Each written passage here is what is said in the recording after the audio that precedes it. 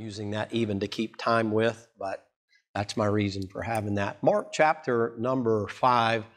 Brother Steinecke, um, what happened to you? You backslid four rows. Okay, just let your conscience be your guide. He's one of the guys you see as soon as you come walking in the side door and greeting you and but God bless him, he's still here after all these years, so we're glad to have you here. Last week we were in the process of talking about some little ships, watching the big ship, and uh, we talked a little bit about the devil possessed man that was there, and I told you I had somewhere I wanted to go, and I'm going to go ahead and go there this uh, morning. I want to talk about this uh, woman that's here, but I want to draw a couple of things to your attention that maybe you've seen before, and, and if not, take a nap, and then when you wake up, just join in wherever you can. Look in verse number 21. The Bible said, And when Jesus was passed over again by ship unto the other side, which reminds me to say he went out of his way to help a devil possessed man.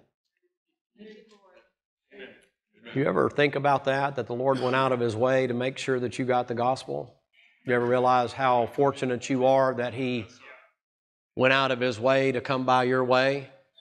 I mean, I realize that the Lord came, I, I get that, but sometimes don't we kind of take that for granted just a little bit? That we think the Lord should have come by my way. Well, what if He didn't come by your way? Did you ever thank God for the fact that you weren't raised in a country with a towel on your head and a rug facing Mecca? Do you ever think where you might be if you were? And you say, well, you know, preacher, I just don't know that I'd ever be that way. If you were raised that way culturally, yes. You happen to be raised in this country in spite of the things that may be wrong with it, where you got a chance to get the gospel and you're sitting in a church on a Sunday morning, you got an opportunity to get something not everybody gets a hold of. So you ought to be grateful for that. And you have Memorial Day coming up tomorrow. I was going to preach on God's memorial today because I think that'd be a good time for you to remember Mary. You know, Mary, she was just a good woman, and what did she do? What she could. Yeah. Enough so the Lord made a memorial unto her. But you have a bunch of men and women that fought to give you the right to do what you're doing right now. And holding back the battlements of hell to give you an opportunity to be able to protect you so you still have the freedom to worship the God that saved you. All right, notice what he says here by ship to the other side, and many people gathered, or excuse me, much people gathered unto him was nigh unto the sea. And behold, one, there cometh one, the rulers of the synagogue, Jairus by name. And when he saw him, he fell at his feet. He besought him greatly, saying, My little daughter lieth at the point of death. I pray thee, come and lay thy hands on her, that she may be healed, and she shall live. Jesus went with him, and much people followed him and thronged him.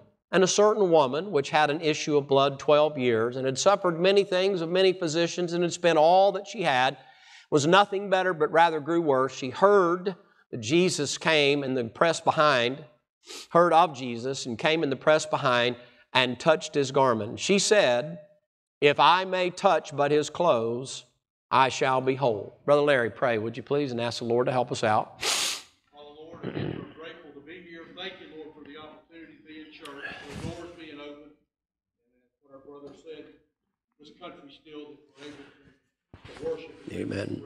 Thank you for that, Lord. Thank you, Lord, for what you're doing for us in these days. Thank you for your help. And we do thank you for this building and place to work. Yep. Worship, Lord, and give you the glory for that. And we're reminded, Lord, of who you are in our lives, even this morning, this very moment. Thank you we're able to hear, Lord, and as our preacher has been teaching us and showing us and preaching to us about that of a sound mind. God, help us to settle just a little bit this morning, to put things uh, to the side, just for a while, God, that we might hear the word preached. Lord, we ask and remember what the psalmist said, Lord, as far as you being our rock and our, our fortress and our deliverer, and then you said our strength. Lord, we need strength this morning. Man. I pray for strength for our pastor, our preacher. I pray, God, we lift him up before you, Lord, through these matters. Uh, God, that you might hold him upright, God. Your might, your power might be upon him. Yes.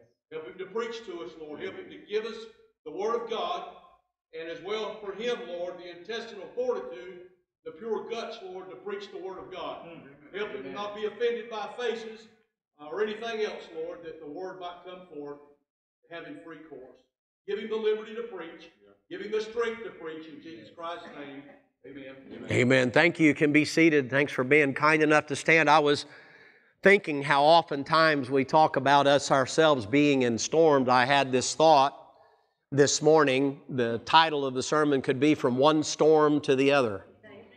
And the reason is, is because in this particular passage here, you see the Lord who's in a storm with the ships, and then the Lord is calming someone else's storm by the demon possessed man, let alone the conflict that is there. And then he's in a storm because of Jairus' daughter, and then he's in a storm because of the woman who has an issue. In other words, we may have individual storms, but every storm we're in, he's in the midst of every one of them. I mean, if anybody had a whole life to speak of, of being in storms, it would be the Lord. Every storm you and I are in, He's in the midst of that storm. I mean, if anybody could preach on storms, the Lord could preach on storms. You say, why? He's been in a few storms for mine, He's been in a few storms for you, and guess what? He's going to be in a few more storms until the Lord blows the horn and we get out of here. I'm grateful for a Lord that's not a fair weather storm rider. I, am I'm, I'm grateful for a storm chaser. I'm grateful for a, a Lord that looks for storms to get into to try to do something. He's not always looking for a sunny beach in Miami or out in Vegas somewhere or some other uh, uh, place that would be a, a, bad place to be. I'm grateful for the Lord that's always looking for dark clouds. He's always looking for difficulty, always looking for trouble, always looking for the crippled and the needy and the people that have uh, particular things that other people don't want to pay any attention to. I like a God like that. I like a God who likes me in spite of the filth I might be in and the trash and the dirt I might be in and the sickness, whatever it might be. I like a God who's not afraid to be in the hospital with puke on the floor and people with urine on them and feces on them. And I like him. I see him working in the doctors. I see him working in the nurses. I see him working with the guy in there with the mop and cleaning up the mess that the people threw up all over the floor and all that. You say, what do you see in that? I see God in all of that stuff trying to take care of people. I'm glad I have a God like that. I'm glad I have a friend that's not just a fair weather friend.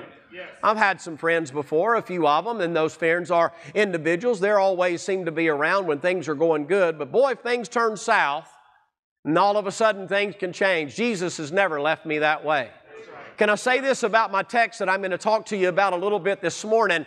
Can I say first and foremost that you need to recognize that the storm that they were in had a purpose, and the purpose wasn't just to set the example for the little ships, it was to take Jesus to a place they would not have otherwise gone and blew him completely off course of where his intention is intending to go and took him out of the way for what? One devil possessed man. You know, I've learned this about God, He'll always go out of His way for you.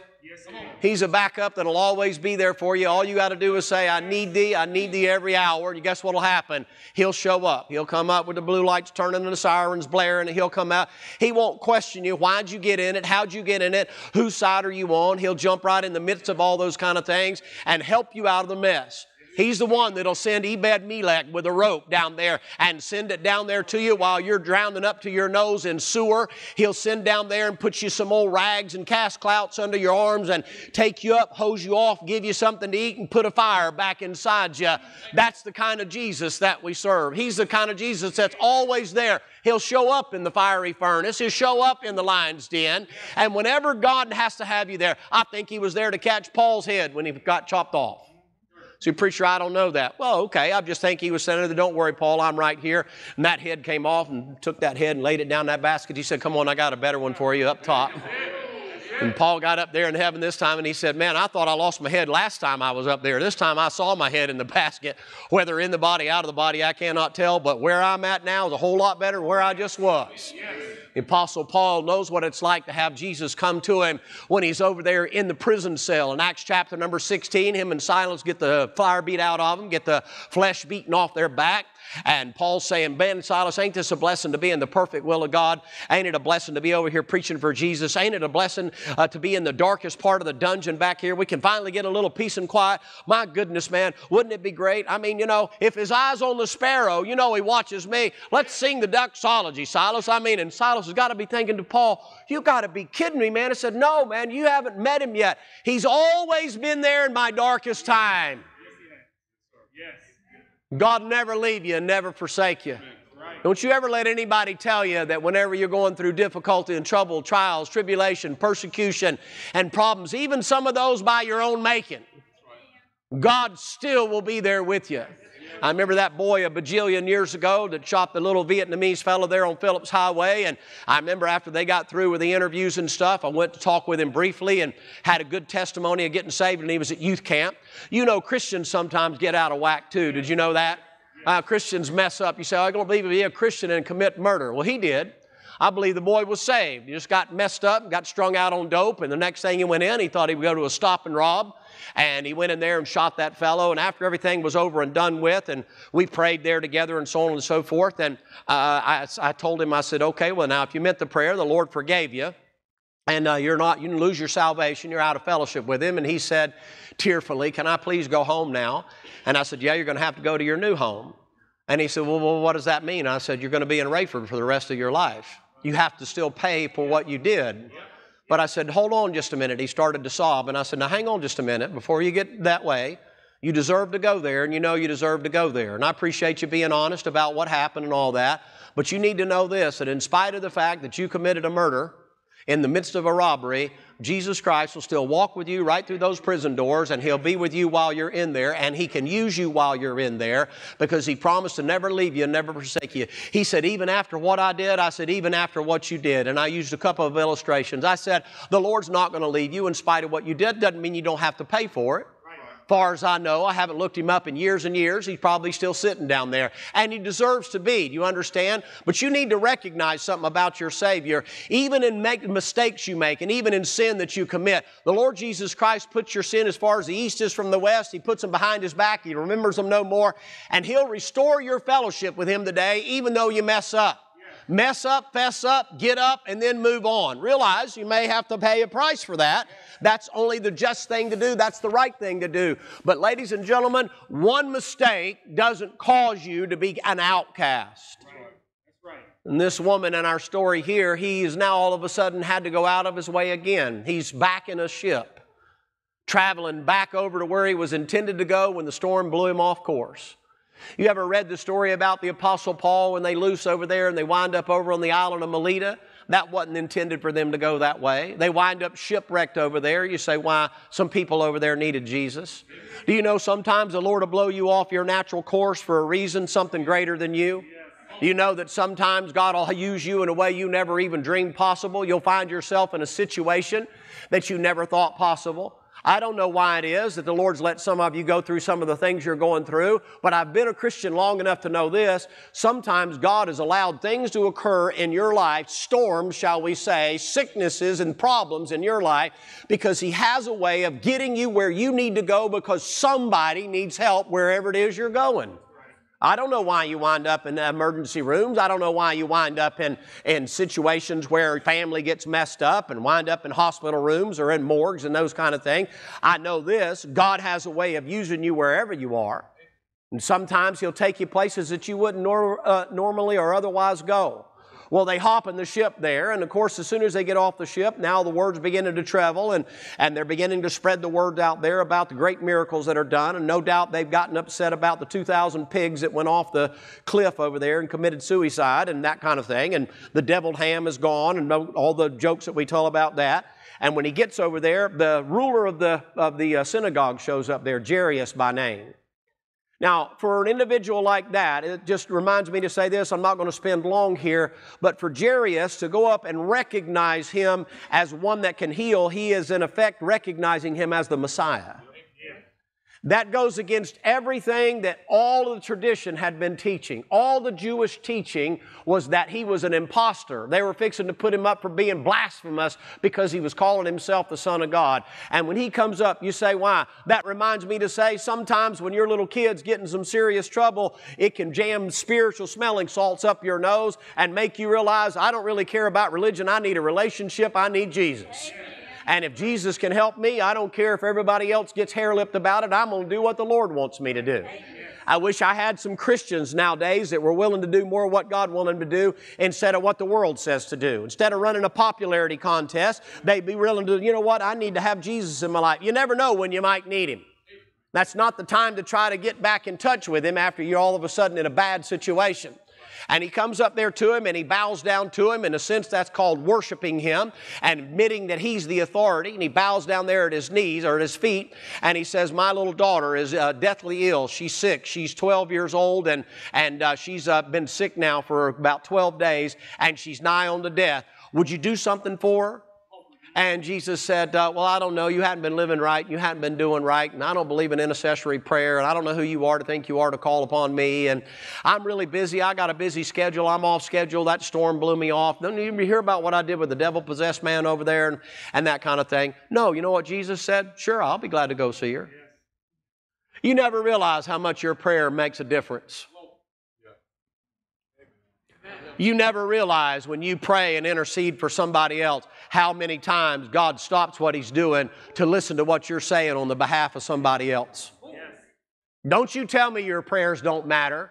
Don't you tell me, it may not be a miracle, the widow of Nain's son may not rise up out of the dead. Don't you tell me that people can't feel prayers and can't tell when you're praying. I'm telling you right now, I can personally attest to it. My own testimony is I can feel strength come to me when people are praying for me. I can see God doing things that I know is supernatural and being done. I can tell that. I've been in close fellowship with the Lord enough to know when people are praying.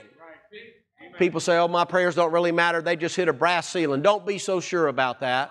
Your prayers on the behalf of somebody else are some of the sweetest prayers you can ever pray. I mean, we're taught nowadays to pray for yourself and ask this and ask that, and God grant me prosperity and all those other kind of things. You know the kind of prayer the Lord tends to bow down. Hush up, Michael. Hush up, Gabriel. Y'all hold the noise down there, cherubim. Seraphim, stop flapping your wings, man. Be quiet just a minute.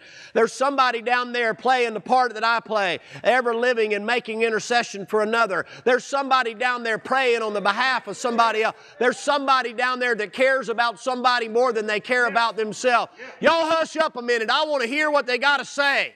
Sure, I'll go with you. No problem at all. Man, do you realize how that must have hair lipped the devil? Can I just tell you something? If you don't get anything else out of what I say this morning, could you please get this? Your prayers matter. They make a difference. I know you feel like you're talking to the air. I know you feel like you're talking to your windshield. I know you feel like it ain't getting above the headliner in your car. I'm telling you, when you pray on the behalf of somebody else, I'm telling you it makes a big difference. Them knowing that you're praying for them makes a big difference. It changes things. Well, preacher, you know, I'm not so sure about it. Why do you find yourself in that position and you have to find out about it? You find yourself in that situation, and all of a sudden you'd be surprised how quickly things turn around. You think, well, how did that turn around? Somebody's praying. I can remember Mama Utley praying one time. We were going through a bad situation. I'll not spend too long here, but it was a bad situation. She waited about 7:30 to call.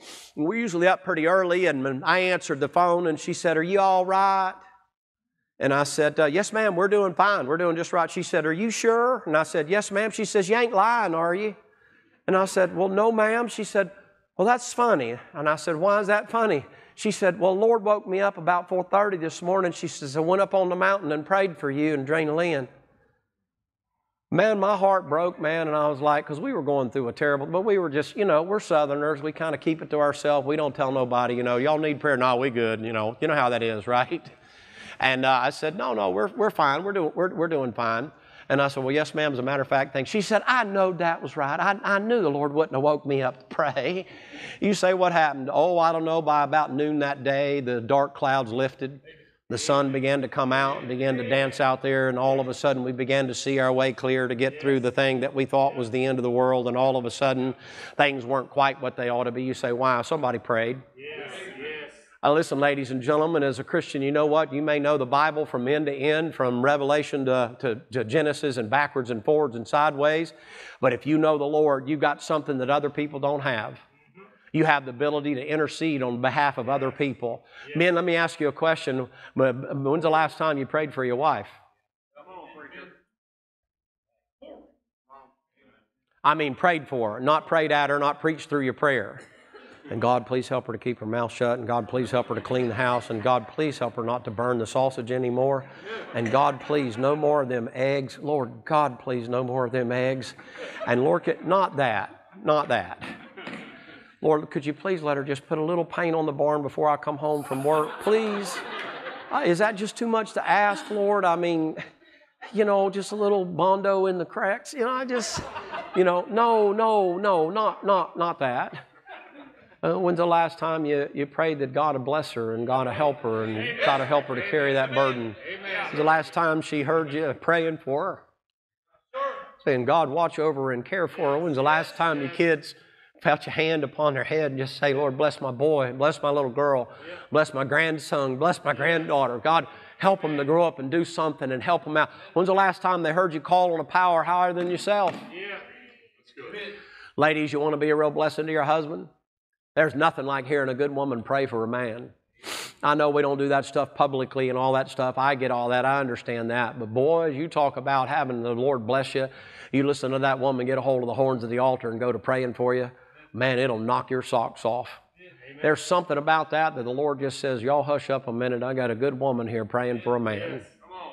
Ma'am, you got a lot of power. Now, I'm not talking about preaching at him through your prayer, ma'am. Well, this mean old ogre needs to learn to hang up his clothes when he comes in and tell him to put them in the dirty clothes hamper and tell him for once would he please fix the leaking roof and take the garbage out without me telling him. And Lord, you know I didn't ra- uh, uh, come here to raise him and to be his mama. And pray God that you not that, not that, sister, not that.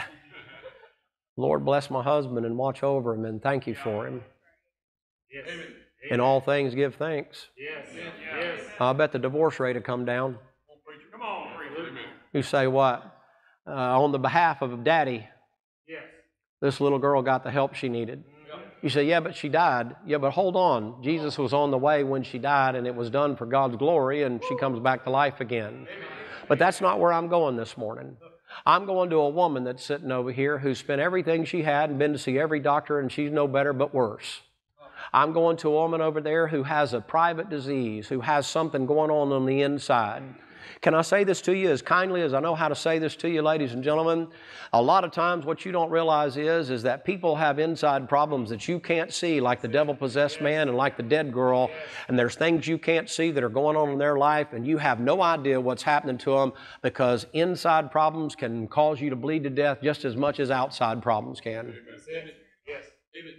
There's a lot of people sitting here right now and I wouldn't divulge them to you for anything in the world, but they got some serious problems, and you'd never know it if you were to talk to them, if you were to listen to them. They'd never divulge those kinds of things. You say, What? Uh, the Bible will teach you that those individuals have those problems on the inside. They're messed up on the inside, but look at them on the outside. Boy, it looks like their marriage is perfect. It looks like their family is perfect. It looks like everything's going wonderful and their bills are paid. It looks like everything is skyrocketing and they're just on the edge. I mean, teeter tottering on saying, Boy, I'm done with this whole thing. I'm finished with this whole thing. I'm through. And the next thing you know, something tragic happens and you're thinking, Well, how in the world that happened? You're hemorrhaging on the inside. Your heart's broken. You're torn out of the frame over something that happened and it's difficult to get help for. It's private, it's not public. The devil possessed man, everybody knows about him. Who wouldn't know about a crazy man running around naked, cutting himself and screaming and hollering, acting the fool out in the graveyard? Everybody knows about that. Isn't it interesting that right between that story and the story about the dead girl is a woman who nobody knows anything about? She's got a private problem. It's not anything public. She's in her house, confined over there, and nobody knows. You realize how many people are within the sound of my voice? If you were to throw the doors open and run a speaker out there in this neighborhood right here who were sitting at their house scared to death to come out, afraid to come out, afraid to do anything because they got a private problem they don't think anybody can help them with? Secretive stuff. It's intentional that it's a female problem.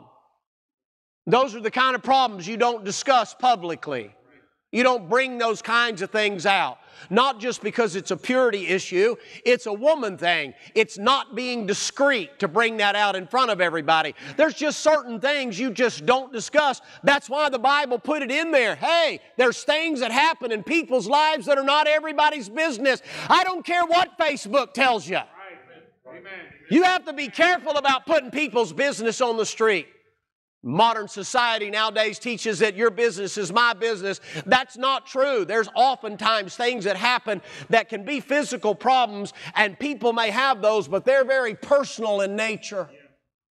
They're things that not everybody needs to know about. And if you're entrusted with that, can I just encourage you to pause, ponder, think, consider, realize if they trusted you with that, they trusted you because they wanted to talk to you, but they didn't want you to talk to everybody. The greatest friend you have in a time like that is Jesus. I don't know who it was. She must have had a friend. The Bible said she heard. Somebody must have been talking to her, in spite of the fact that it looks like we'll just use her as a Christian that's out of fellowship. Nobody can see her, nobody can talk to her. If the Bible's right and the Levitical law is correct, nobody could come see her, nobody could touch her, nobody could visit her. Everywhere she went would be considered impure. Every person that she touched or was around would be considered impure. They would have to go through the process of cleansing and those kind of things. She's literally having the life's blood drained out of her. She is anemic and she is unable to do things for herself. But somebody, in spite of being connected with who and what what she was because the Bible doesn't give you a name. She is known by her malady, she's known by her disease, she's known by her sickness. She's known by the thing that makes her different than everybody else. Could I say this? She's labeled. Aren't we quick to label people? And aren't we quick to especially label the unclean and the impure? Aren't we so quick to snap to judgment people that are not like us or who may have made some bad choices along the way? And sometimes those people actually show up at the hospital, we'll use that like the church, and they need some help. But man, I mean, you can tell that time with iron shod hooves has stomped sin all over their face and oftentimes painted their body and given them holes and piercings and clothing and haircuts and hemlines that are all entirely different than us people. Enough to make you uncomfortable in their presence. Enough to make you feel like, no, I don't know that I want to be around that. Listen, I'm not saying to not be aware. I'm simply saying that when the Lord made a decision to die on the cross, He actually died for those people too. And I want you to at least pause for you good folks in here to understand that, but by the grace of God, you wouldn't have been a good folk. And just because you're sitting here today, it's not because you haven't had issues in the past. And it's not because you hadn't been bleeding to death, and whether or not the world has bled you out, the flesh has bled you out, or the devil has bled you out, and you had one step between you and death, and God stepped in in spite of who you are and how He knows you to be, whether you see yourself that way or not. I think sometimes it would be good for many of us to recognize where would I be if it hadn't been for God. I I remember there's a, a, a guy named uh, Menninger was a uh, psychiatrist a bajillion years ago. The old preacher saw him a few times, and one of the things he said was, he said, when you really think you have a problem, you need to go down and sit at the emergency room and see people that have real problems. one of the things that he also said was, is that, but by God's grace, none of us can prevent ourselves from the fallen state in which we were born. That's a pretty profound statement. If you pause and think about it for just a minute, that's not even psychological in nature. It has a tendency to get this idea. We get kind of uppity. Our mindset is, is that we kind of think, well, that would never happen to me because I'm just such a good person. You do realize that the Pharisees are the ones that wind up not getting any help. As a matter of fact, the Lord says the prostitutes wind up going into the gates before those people. And they were good religious people. They did everything according to the rules and everything according to the law. But can I say this to you, ladies and gentlemen? None of those individuals. Remember when the Pharisee and the prostitute were there? And the prostitute came in there to worship the Lord, and she began to weep and cry and wiped his feet with her hair. And the Pharisee said, Boy, if he knew what kind of woman that was touching him. And I've always said to you, not jokingly, how is it that he knows about that woman, what he knows about that woman? But doesn't it make you pause to ponder? Doesn't it make you think about the individuals that the Lord is saying to you, maybe even this morning, hey, guess what? You have a problem and you're dirty and you're filthy and you're bleeding to death and nobody knows about it. God knows about it. Because oftentimes, those things on the inside, no matter how great your curb appeal is, you're still bleeding to death. We had a fellow down on 8th Street one night, actually 7th Street, uh, over there, 7th and uh, Laura Street, right there.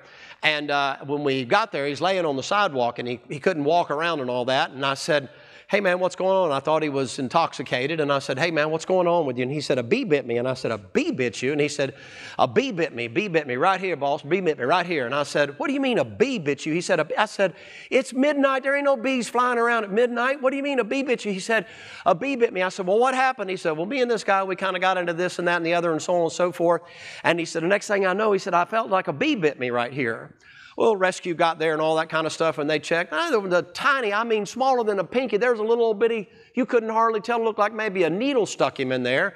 And they took him in there, and so I got finished with all the stuff you have to do, and I took off over there to uh, 8th, 8th Street, uh, the hospital there, old University of 8th and Davis, or 8th and uh, whatever it is that's there. And I went to the hospital, I pulled in the emergency room, and I said, Hey, the guy that got in here, he kept saying a bee bit him, a bee bit him. And he said, Oh, yeah, he's gone. I said, What? I said, Rescue showed me he's got a little spot just in, the, in his hind end, just a, I mean, tiny little hole right there. He said, Yeah, he said that little thing was a little 25 year uh, automatic. He said it went through and it clipped his femoral artery. And by the time he got here, I said, There wasn't even any blood there. And he said, No, it was all inside. And in a matter of about 30 minutes, they got him in there. There was nothing they could do. You say, Why? A bee bit him. Just a little small thing. And he hemorrhaged to death. Oh, preacher, you just telling one of them shocking stories again. No, I'm telling you what happened. Absent from the body, and who knows where he wound up being. Do you ever pause to think about that, ladies and gentlemen? That some of you are sitting here this morning, and you know what? The bee bit you, and you're bleeding. But boy, you got good curb appeal. You got it all together. You don't need to go to an altar. Somebody might see, you know, that you, uh, you know, something's not right with you or whatever. You know, your tie might be crooked or whatever. You don't have everything the way it's supposed to be because you got everybody fooled that everything's going great. But on the inside, you're bleeding to death. Bitterness, bitterness has cut you from the inside out, boy, and you are bleeding to death right now, sure as I'm standing here and the Lord coming by and saying, Hey, what are you doing? Well, I've seen everybody and I've read every book and I've read every motivational book and I've read every and heard every sermon. I got every CD and I've got this and all that. And I'm just, I, this is just what I think and how I feel about it. And you're still bleeding. You know what? You have no energy. You know what happened with this woman? Somebody told her, I'm sorry you've been to see all these doctors, and I'm sorry they weren't able to do any good for you, and I'm sorry you spent everything. And there's a physician that's come into town. She said, Well, I don't have any money. Good, he doesn't require money. Hmm, amen. Now, a southerner, if she's a southern woman, you know what she'd said? I don't take no charity. Hmm. Right? I don't take no charity. I figure out some kind of way to pay him. No, he ain't interested in payment. All you got to do is get to him. I'll tell you right now, he's a great physician. I've seen him do a lot of things. Really, what have you seen him do? I saw him give a blind man his sight. I saw him give a deaf man his hearing. I saw him give a dumb man his ability to be able to talk. Man, you should have seen him, man. I saw him get a guy up out of a coffin and get him up there walking again. I mean, he's pretty amazing. Why don't, why don't you just why don't you come see him? If you can get to him, I can guarantee you he can do something for you. You know what she had to be willing to do, even in her weakened condition? She had to admit she had the condition, but she had to be willing to do something about it. But can I say this to you? She is wore out with trying to do something about it. Tell me we haven't all been there before. I've had enough. I've done everything I know to do. I don't have another try in me. I don't know if you've ever been there before. It's like, why bother? Every time I go, this happens. Every time I've been there, this happens. Every time. And the Lord says, How about just one more time? I bet she's glad she got up. Somebody came by. I don't know if they put a track on the door. I don't know what they did. I don't know how they got word to her. Uh, maybe they sent some kind of a message to her. Maybe it was a, excuse me, an instant message or something like that. I don't know. But the Bible said she heard. Somebody told her. There's a great physician coming in town. And she said, You know something? If everything they say about that man is true, if I could get to him and I could just touch his garment, meaning I would recognize he is the Messiah. If I could just touch his clothes, I can guarantee you I'd be made whole. I'm going to give it one more try, and if not, I'm going to die trying. Boy, I appreciate her guts. I appreciate her character. You say, why? In those days, ladies and gentlemen, for a woman that was that unclean and that impure, and everybody in town knows her by her disease and by her frailties and by her sickness and by the filth and all that, everybody would be pointing fingers at her, and she has and they have the right to stone her if they catch her out because she defiles every place she goes. You ever think about that? How difficult it was for her to go into a situation like that and realize she's exposing herself publicly. You know, one of the things that I hate about church sometimes, I hate to say this, is that sometimes we're real good about bringing up people's past. We're real good about recognizing people for their maladies. We're real good about recognizing them for their unfaithfulness and their uncertainty and for the mistakes they've made in the past. Yep, they're still here. They're still trying, they're still making an effort. I mean, it's harder for those that have messed up and fessed up than it is for those that don't know about the mess up. It's hard for them. You say, why? Because between the Lord who has an answer for her problem and for the physical and psychological issues she has, there's a whole bunch of people in between. She's just trying to get to Jesus. I don't want to be one of those people. I quote Psalms chapter number one a different way. Blessed a man who walketh not in the way of the counsel of the ungodly, nor sitteth in the seat of nor standeth in the way of sinners. I, I, quote that a little differently when I say standeth in the way of sinner. That means I prevent somebody from getting to Jesus because of the way I live and what I do. I don't want to be one of those people that derail somebody with my liberty and derail somebody with my mouth and derail somebody with my wicked living or with my decisions about certain things or them hearing me talk about people all the time. I don't want to be one of those that stands in the way of sinners getting to Jesus. You say, what? Well, they just need help. I'm not really selective about that. I don't figure the Lord was too selective when He selected me. I don't believe Calvin's foolishness. I believe I messed up the eternal decree when He said, You're going to hell. And I said, No, I ain't. I ain't going to hell. I'm getting saved. Amen. You say, What happened? That was His eternal degree, and I decided to mess up the whole thing. If you're lost today, you can mess up an eternal degree. You say, How do you do that? You tell Him, You said I'm going to hell. I ain't going to hell. I'm getting saved.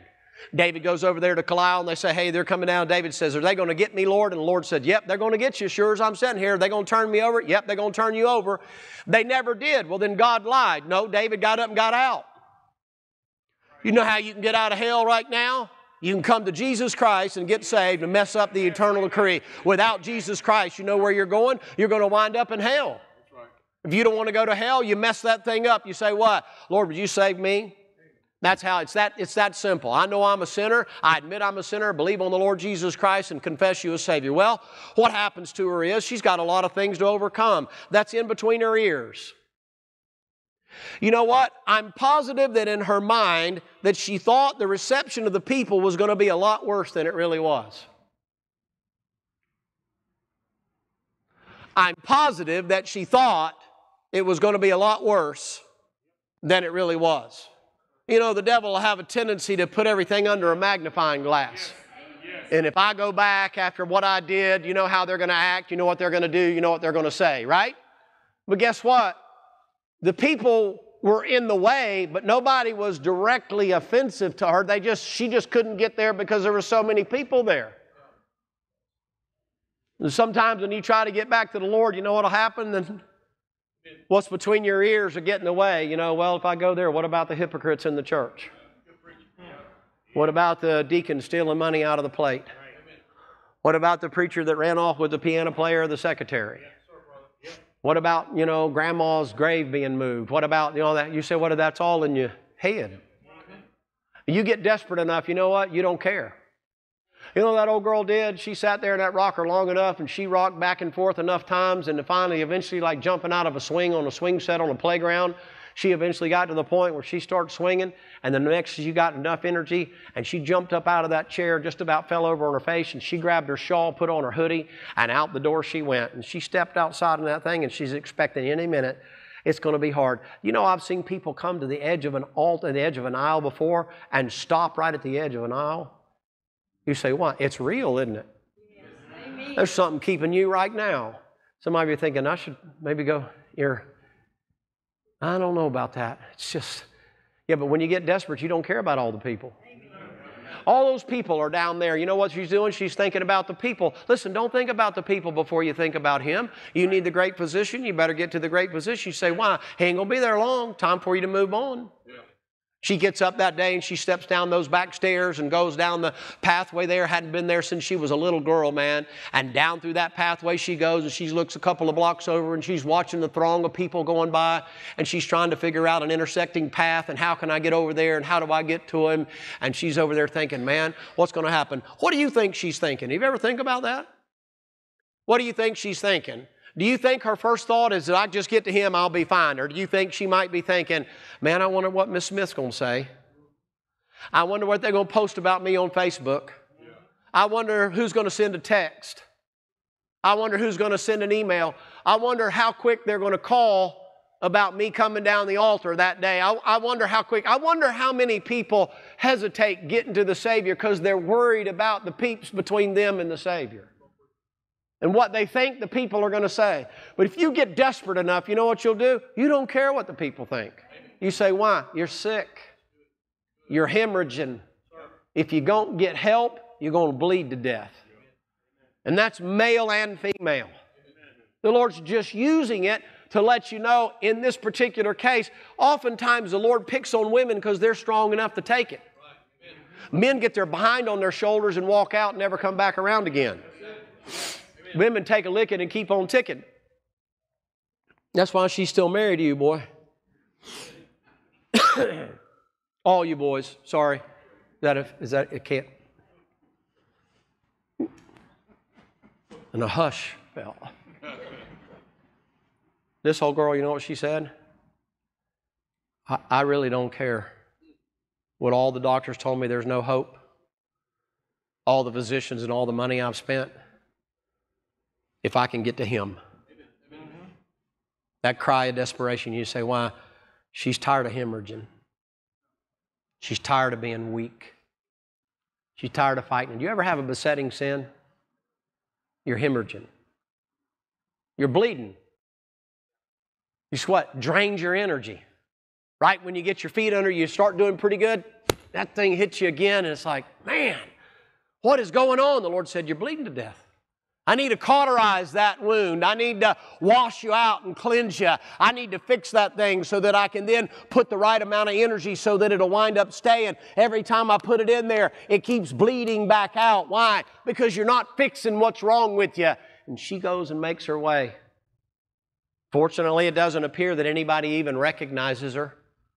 She comes up there in the press, the crowd behind him, and she reaches out there to touch that trembling hand, that emaciated hand, that weakness has now taken her about as far as she can go. And now he's beginning to travel faster and she can't keep up for the crowd and for all the other things going on, maybe at the last moment of weakness. And she stretches out as much as she can and she reaches out to touch and she touches in the other passage the hem of his garment. That's the border around the bottom. That's the closest place to the ground. You say, why? In order to get help, you got to get down. Yes. Amen. If you want to get up, you got to get down. Yes. If you want to get first, you got to be last. Yes. If you want to be the master, you have to be the servant. Yes. You say, what happened? The Lord stopped. All those people that are there in this throng around him after he has done some miraculous things, calmed the storm and healed the devil possessed man up and cast out the devils and all these great and mighty things around. I mean, the paparazzi's following him and all the news agencies are following him. I mean, he has a throng of people around him. But you know what's amazing to me? He is never impressed in crowds. Amen. He went out of his way for the devil possessed man. He's on his way to help a little girl. He's got all these people around him. He's not impressed with all the people around him. He's just trying to go help somebody else, excuse me, from one storm to another. And then all of a sudden, somebody touches him and the Lord stops. I made a note in my Bible a lot of years ago Do you have the power to stop the sun?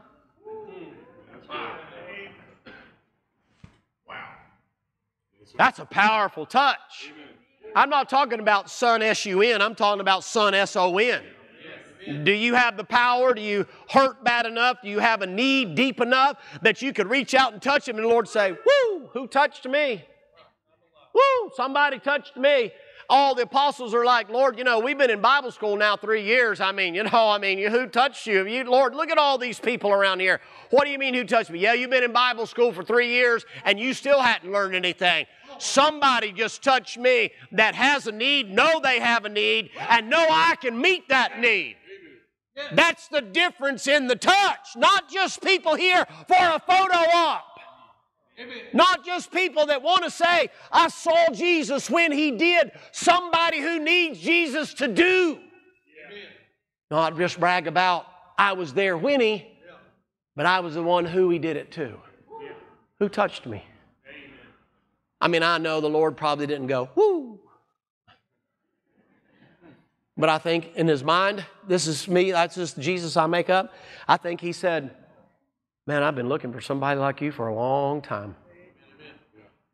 All these people around me, and they don't know what you know. You say, Why? It was her disease that made her realize what she really needed.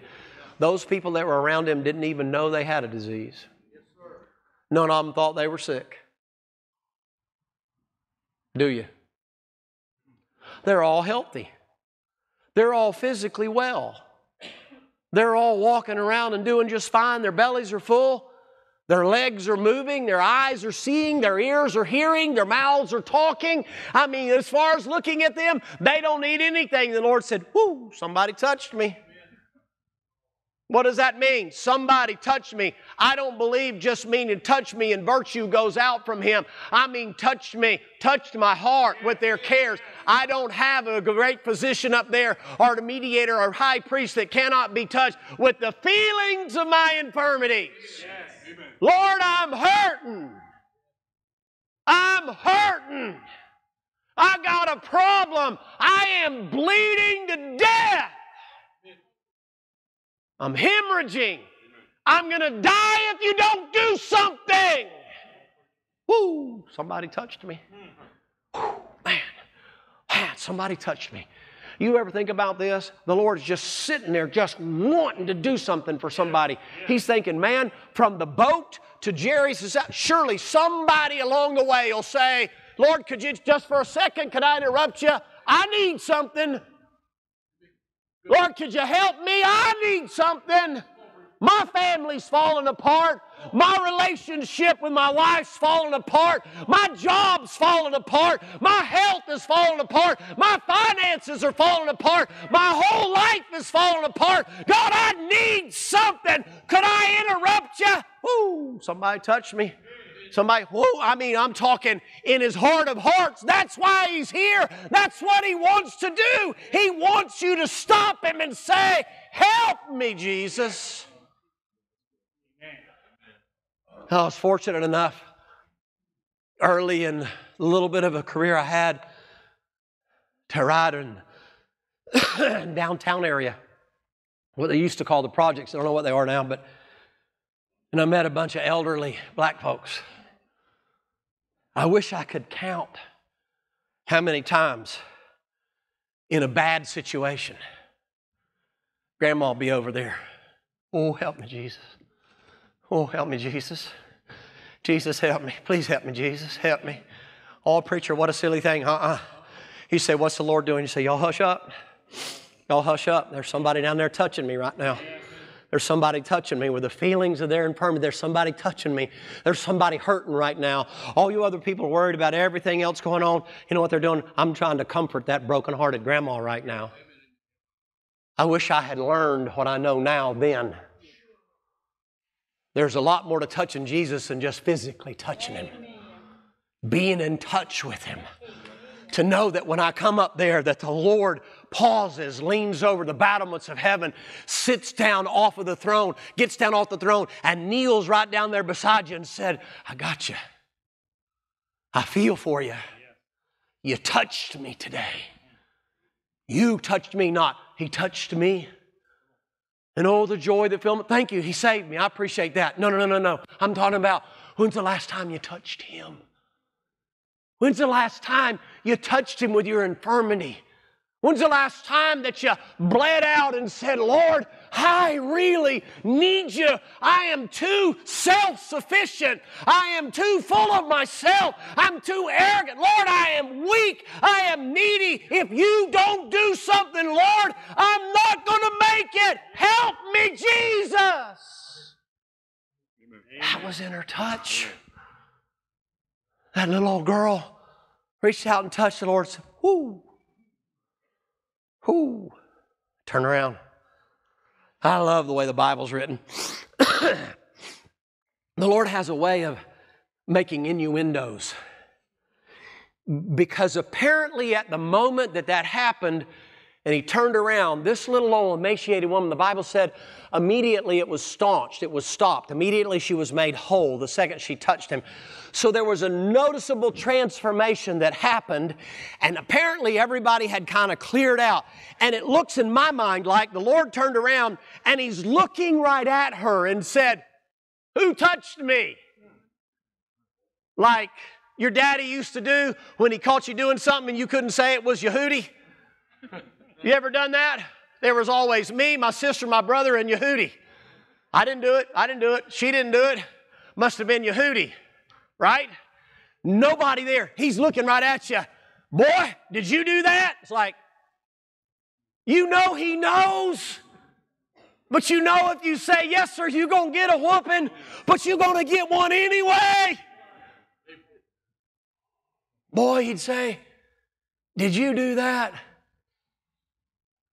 Yes, sir. You know, I always found him to go easier on me if I was up front Yep. than if I tried to justify what I did. He was good like that. He still whooped me. But it wouldn't be quite as bad. Are you with me? I'm almost done. she comes up there, and the Lord looks at her. And apparently now, you know how people are. They're like, wasn't me. Wasn't me. I, no, no, I didn't touch you. Wasn't me. See, they think he's accusing somebody of doing something wrong. Not me. I didn't touch you. Oh, no, not me. No, not me. I didn't. No, uh-uh, not. Might have been him. Might have been her. It wasn't me. I didn't put my hands on you. Get the fingerprint dust, get out the super glue, put it in the ball, and see if we can get, you know, the DNA. No, no, no, I, I didn't touch you. And then they look at her, they're like, oh, it's that nasty, dirty woman. That's who it is. And the Lord steps in. Now, all this is happening between the passages. Man, preacher, you got a vivid imagination. Oh, man. The Lord shuts him down with one word. You know what it was? It wasn't shut up. You know what it was? He said, Daughter. And they're like, Oh, he must know her or something. He's calling her by an endearing term. That man just recognized the dirty woman as his daughter.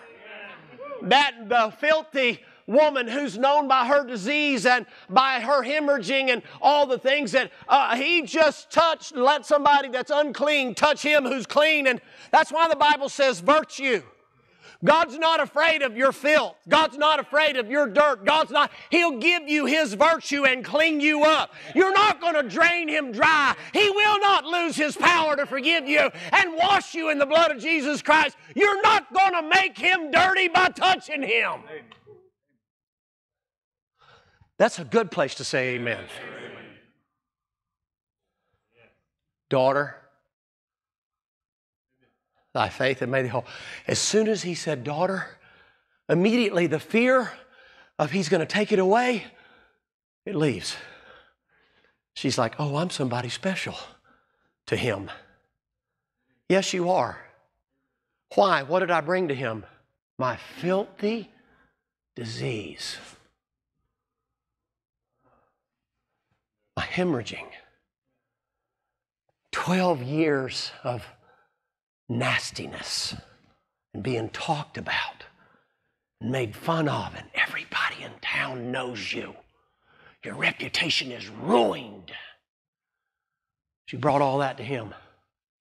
Daughter, isn't it funny how as a parent, uh, I hate to say this, and even as a grandparent, it's probably a little worse. How we kind of tend to have a little nepotism when it comes to that. I mean, if anybody else kid did what your kid did, you'd be like, "Leh, hang them up, let them dry. We don't care, right? Mm-hmm. Yes. Right? Am I right? Yes, sir. But when it's your kid, it's like, well, you know, I mean, they're good kids and they're trying, and I get that break with the Lord sometimes. Yeah, that's my kid. Did you see what he did? Yeah. But he's my kid. Daughter, son.